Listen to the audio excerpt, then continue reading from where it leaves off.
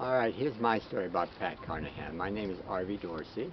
I've been with the Rose Garden Neighborhood Preservation Association for probably 40 years.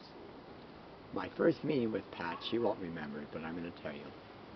John Russo had moved into the city attorney's office. Danny Wan moved into his position in District 2, and Pat was his first aide. And John contacted all the neighborhood groups asking them to come to a meeting at City Hall regarding a company out of Los Angeles that wanted to put in cheap cigarettes under the guise that they were going to give money to all the students, which we know was nonsense.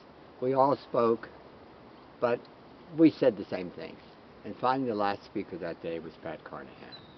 We looked, and here comes this beautiful lady down the aisle. And I thought, wow.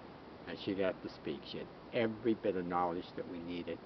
It was unbelievable. And I thought, wow. I was smitten with her right then and there.